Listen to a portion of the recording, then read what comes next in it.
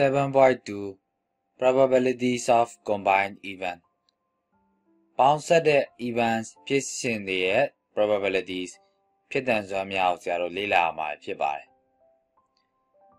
ပထမဆုံးဆရာတို့ကဘာကိုလေ့လာမလဲဆိုရင်တော့ two events are independent ဖြစ်ရနှစ်ခုက independent ဖြစ်ကြတယ်ဘလို့အခြေအနေမှာ independent ဖြစ်တယ်လဲဆိုတော့ if the occurrence of any one of them does not affect the probability of the other the occurrence of any one of them ဆိုတာကဒီဖြစ်ရနှစ်ခုရဲ့ဘယ်ဖြစ်ရမဆိုပေါ့ဖြစ်ရနှစ်ခုနဲ့တစ်ခုရဲ့ occurrence ဖြစ်ပေါ်မှုအဲ့ဖြစ်ရနှစ်ခုမှာရှိတဲ့တစ်ခုရဲ့ဖြစ်ပေါ်မှုပါတဲ့တခြားတစ်ခုရဲ့ဖြစ်တန်စွမ်းပေါ် does not affect တက်ရောက်မှုမရှိခဲ့လို့ရှိရင်အဲ့ဒီဖြစ်ရနှစ်ခုကိုဆရာတို့ independent မိခိုမှုမရှိဘူးလို့ဆရာတို့သိရမှာဖြစ်တယ် ဥပမာပြောလို့ရှိရင် two fair coins are toast ဒီငါးပြားနှစ်ခုဆရာတို့တောက်အဲ့လိုတောက်လိုက်တဲ့အခါမှာ the event of getting hat on the first coin and the event of getting tail on the second coin are independent အဲ့ဒါဖြစ်ရနှစ်ခုရှိမယ်ဒီ event နဲ့ဒီ event ပေါ့ပရမ event ကပရမအန်စာတော့မှာခေါင်းရရမယ်ဒုတိယ event ကဒုတိယ sorry ဒီမှာပရမဒီငါပြပရမဒီငါပြမှာခေါင်းရရမယ်ဒုတိယ event ကျတော့ဒုတိယဒီငါပြမှာတေးအမိရရမယ်ပန်းရရမှာပေါ့အဲ့တော့ပရမ coin ခေါင်းရခြင်းရဲ့ probability ဒီဖြစ်တည်မှုကဒုတိယ coin တေးရခြင်းပန်းရခြင်းပေါ်ဆရာတို့တက်ရောက်မှုမရှိပါဘူးပရမ hat ပဲရဘာပဲရ စက္ကန့်ကနဲ့တက်ရောက်မှုမရှိပါဘူးဆိုလိုတာကတော့ဆရာတို့ပရမကခေါင်းပဲရရပန်းပဲရရဒုတိယမှာပရမမှာခေါင်းရလို့ပန်းရမယ်ဆိုပြီးအတိအကျပြောလို့မရသလိုပရမမှာခေါင်းရမှာခေါင်းရတဲ့အခါမှာသူဒီခေါင်းရခြင်းလည်းရမယ်တနည်းပြောရင်နောက်တစ်မျိုးပန်းရခြင်းလည်းရပါမယ်ဒါကြောင့်မလို့ဆရာတို့ဒီဖြစ်ရနှစ်ခုဆရာတို့ independent ဖြစ်တယ်လို့သိရအဲ့တော့ဆရာတို့နောက်တစ်ခု နောက် experiment တစ်ခုဆရာတို့စဉ်းစားကြည့်မယ်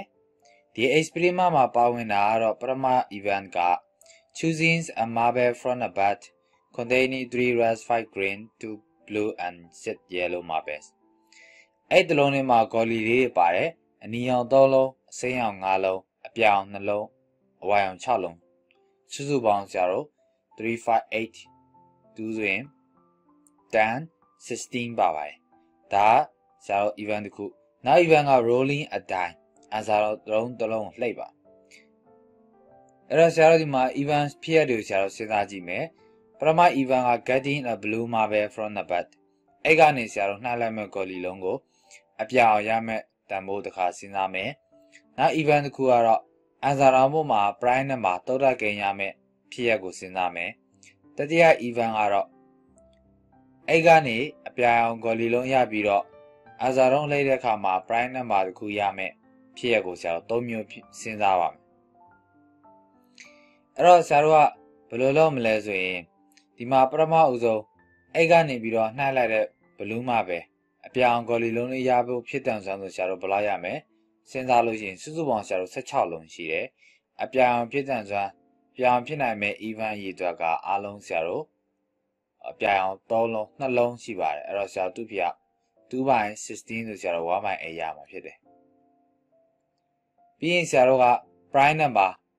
အန်စာရောင်းပေါ်မှာတောက်တာဂိမ်းတစ်လုံးရမယ် probability ဆိုရင်စုစုပေါင်းဆရာတို့အန်စာရောင်းမှာ6မျက်နှာရှိတယ်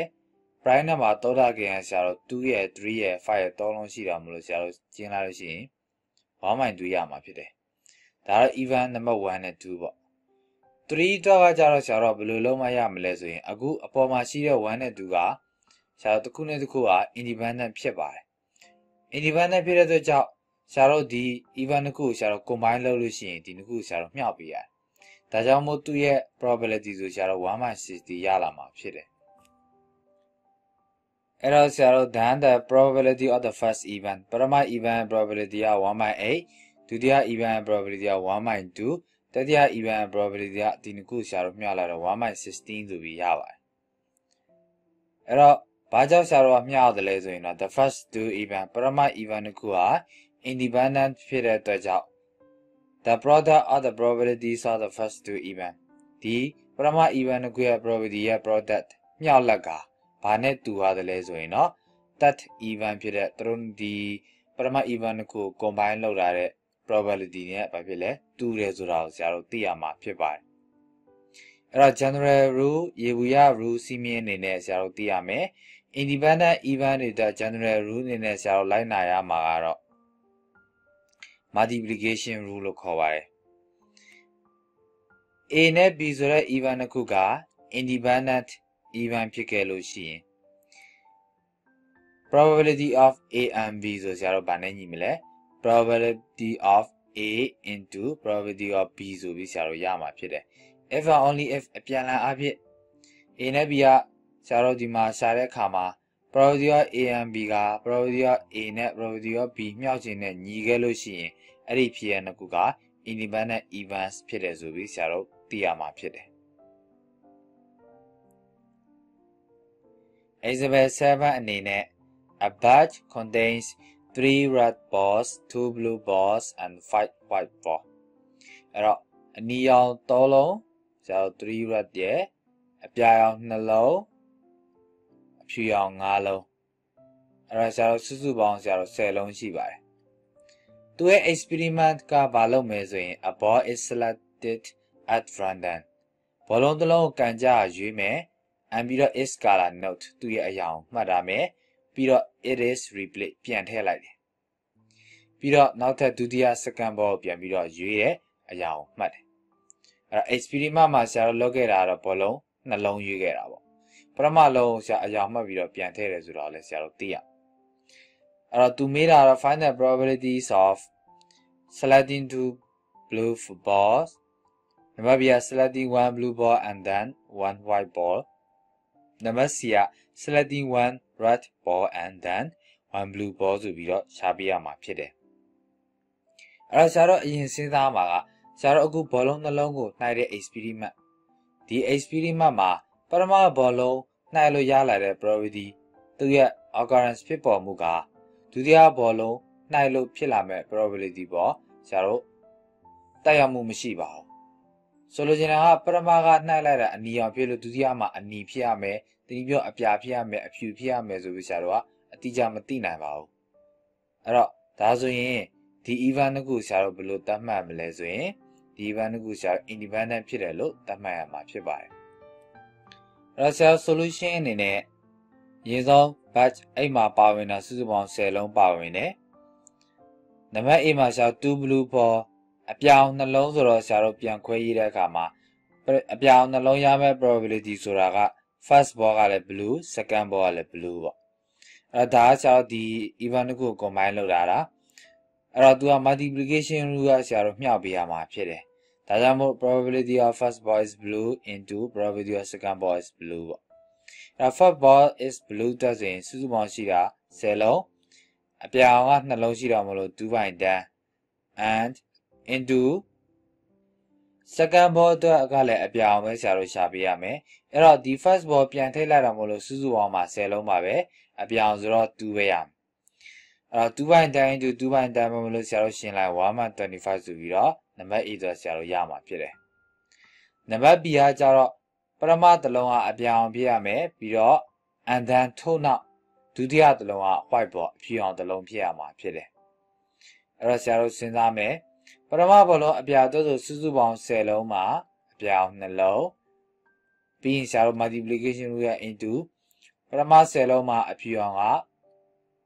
9လုံးအဲ့တော့ရှင်းလိုက်ရှိဒီမှာ နေငါ30 30လုံးကြည့်တော့1မိုင်တန်းရတယ်နံပါတ် C တော့ဆိုရင်တော့တလုံးကအနီအောင်ပထမတလုံးကအနီအောင်ထို့နောက်ဒုတိယတလုံးကအပြောင်ဆိုတော့ပထမတလုံးအနီတွဲဆရာတို့အနီ3လုံးရှိတော့3 by 10 into အပြောင်တက်ဆိုရင်တော့ဆရာတို့10လုံးမှာပြောင်နှလုံးအဲ့တော့ရှင်းလိုက်တဲ့အခါမှာဒီမှာဆရာတို့1 by 5အဲ့တော့ဆရာ3 by 50ဆိုပြီးရရှိမှာဖြစ်ပါတယ်အဲ့တော့ B နဲ့ C ဆရာဘောမှာဆက်ရေးလိုက်တယ် အာ B တွဲဆိုရင်တော့ဆရာခဏပြောသလိုအာ probability of first voice blue into ဖြစ်မယ်ဒီမှာ probability of second voice white တွဲဆိုရင်ဆရာတို့1 by 10ရမယ်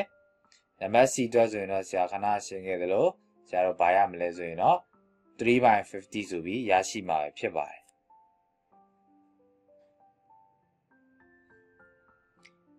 အဲ the events in above example ဆရာတို့အခုအပေါ်မှာတွက်ခဲ့တဲ့ဥပမာရ ဆရာတို့လုပ်တဲ့ဖြစ်ရနှစ်ခုဟာ independent မမီခိုပါဘူးဒါပေမဲ့တချို့သောဖြစ်ရတွေမှာ events ဖြစ်ရတွေမှာတဲ့ may not be independent မမီခိုမမီခိုတာမဟုတ်တာလည်းဖြစ်တဲ့အခါတွေရှိပါတယ်တဲ့ဆိုလိုချင်တာမိခိုခြင်းမိခိုမှာပေါ့ဘလို့အခြေအနေတွေမှာလဲဆိုရင်တော့ပြန်ရှင်းပြလို့ရှိရင်တဲ့